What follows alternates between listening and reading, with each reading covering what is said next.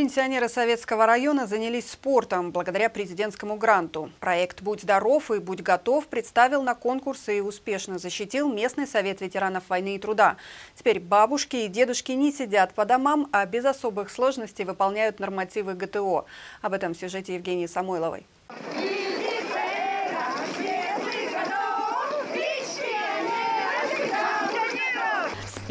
И бодрым шагом от болезней и плохого настроения в путь вышли 90 пенсионеров из восьми поселений Советского района Югры. Им всем далеко за 50, но настроена победу, как в молодости. Они готовы не просто попытаться сдать нормы ГТО, но и получить знаки отличия. Мне 65, скоро 66 будет.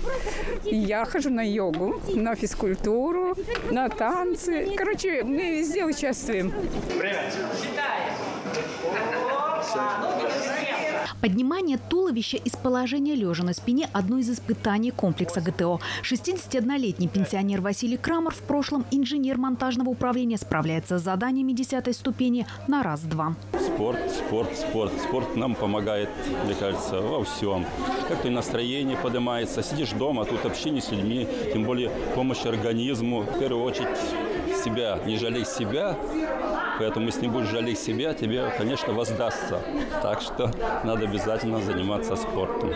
К сдаче норм ГТО пенсионеры готовились. Районный совет ветеранов написал проект «Будь здоров и будь готов» и нашел поддержку в фонде президентских грантов. 494 тысячи рублей направили на покупку спортивного инвентаря, мастер-классы и интенсивный курс здорового образа жизни для пожилых югорчан.